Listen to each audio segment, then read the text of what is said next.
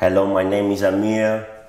I'm pleased to say that I'm a dental surgeon and I'm here to talk to you, a budding dentist, a general dental practitioner perhaps, a dental therapist, or anyone for that matter, about the childhood fevers, the exanthematous fevers, the so-called acute specific fevers, things like mumps and measles and German measles and diphtheria and chickenpox and whooping cough.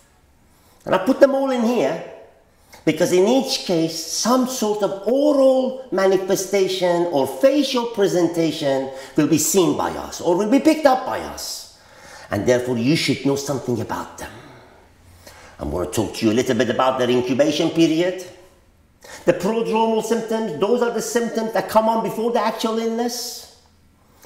Whether or not there is a rash, and what you would see in the mouth column, which is the most important thing for us, and whether or not they are protected by vaccine, vaccination program. So let's go very slowly through them.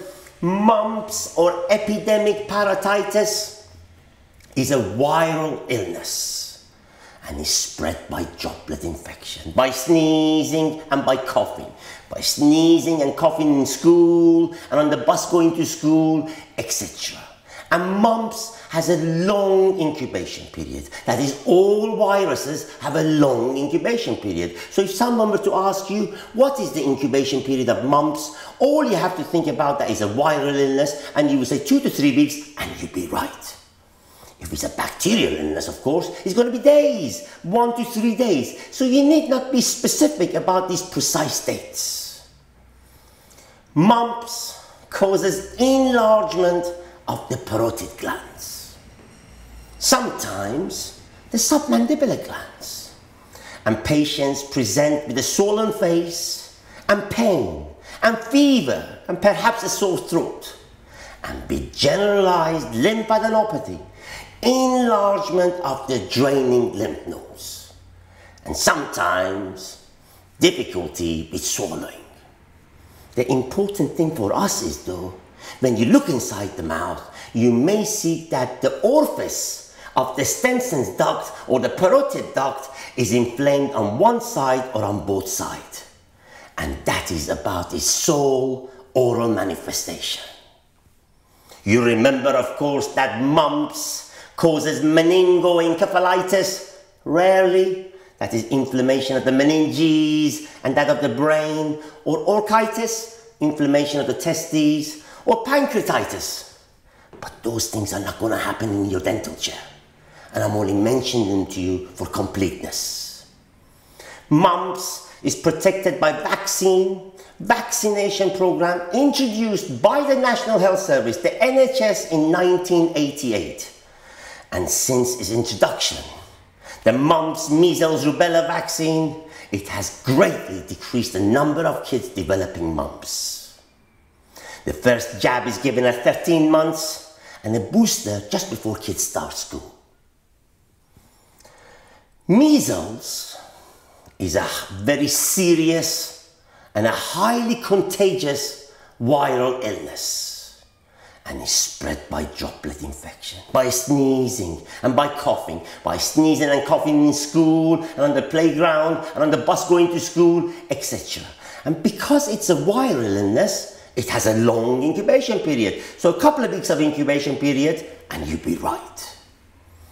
This is a condition in which young children present and become very fretful and ill and miserable with fever and with generalized lymphadenopathy, enlargement of the draining lymph nodes, and with discharging eyes and ears, and what is called the macular papular rash. The important thing for us is though, when you look in the mouth, you may see things called Koplik spots. These are just small salivary retention glands which become inflamed and show up as little grains of salt on the inside of the cheek opposite the molars.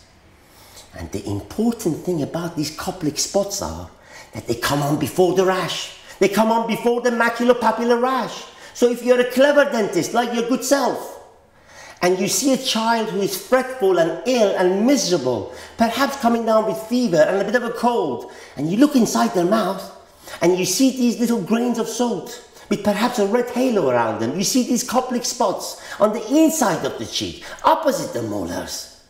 You look at the mom and say, Mother, I think your child is coming down with measles. And you probably will be right. But it's best not to say anything and refer them to the GP because, as you recall, this is a notifiable disease and the GP will have to inform the health authority because of it.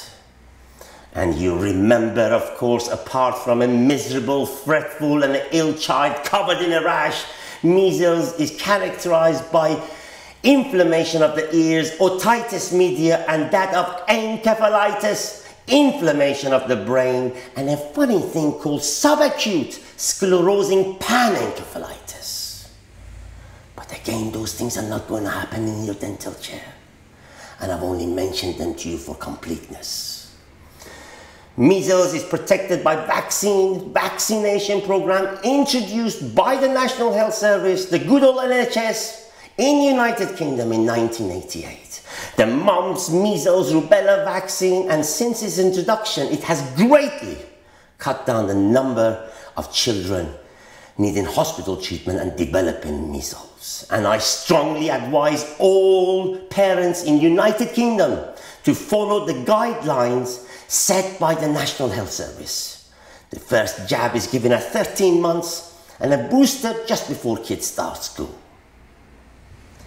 German measles, is a viral illness and is spread by droplet infection, by sneezing and by coughing. And because it's a viral illness, it has a long incubation period. So a couple of weeks of incubation period and you'll be right.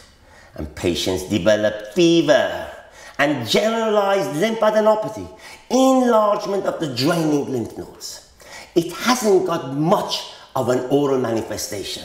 So we pass it over except to say that there is a rash. A rash very much like the rash of measles, but is a fine maculopapular rash. And unlike the rash of measles, which persists, this one clears up real quick. Three to four days. German measles, of course, is important, as you recall, if a pregnant woman has rubella, because there are serious consequences affecting the fetus if the pregnant woman has German measles.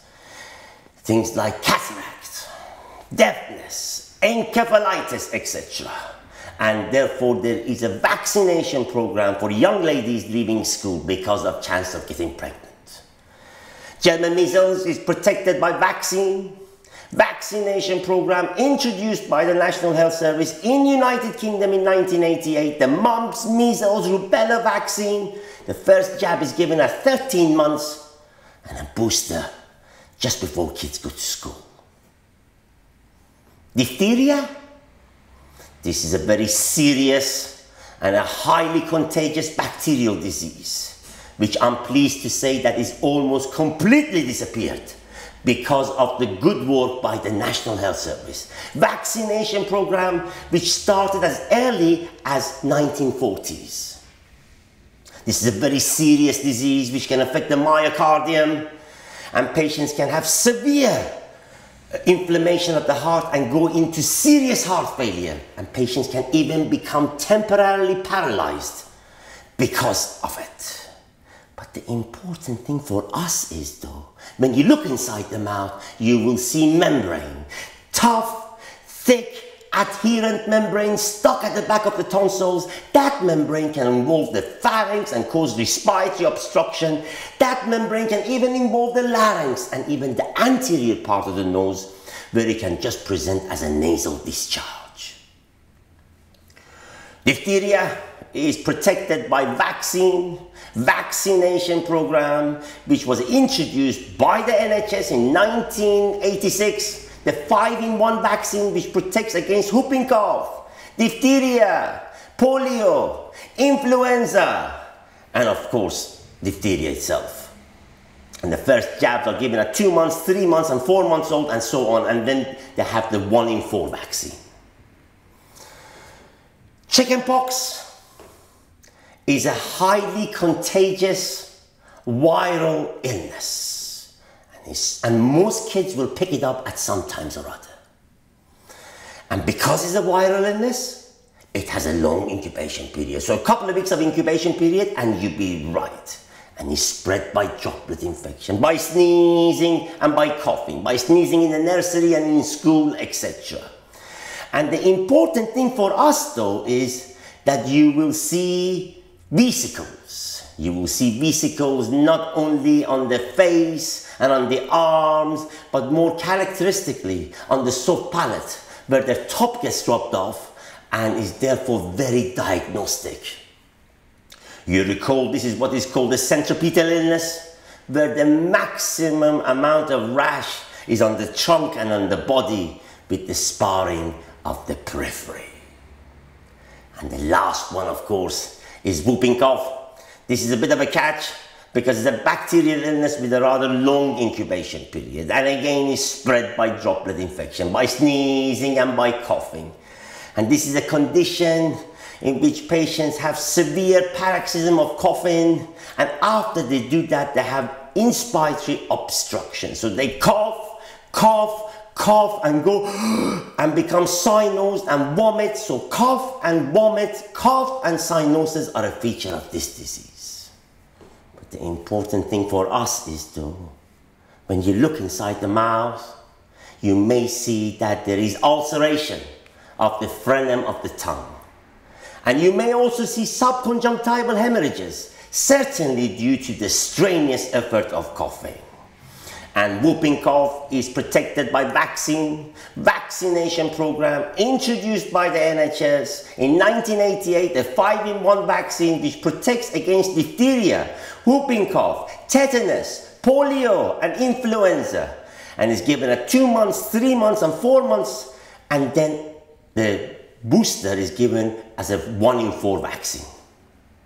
Now this is all a bit of a mouthful, so let's go very slowly through them again mumps or epidemic parotitis, important complications for others, not for you, inflammation of the Stenson's duct, measles, important for us because you will see Koplik spots in an ill, fretful child covered in a rash. German measles, not important for us except that there is a rash, a fine maculopapular rash which clears up quickly. Diphtheria, important for us because you will see membrane, thick adherent membrane stuck at the back of the tonsils. That membrane can involve the pharynx and the larynx and even the anterior part of the nose. Chickenpox important for us because you will see vesicles. Vesicles not only on the face and on the trunk, but more characteristically on the soft palate where the top gets rubbed off and is very diagnostic. And whooping cough important for us because you will see that there is ulceration of the frenum of the tongue, certainly due to strenuous effort of coughing and that of subconjunctival hemorrhages.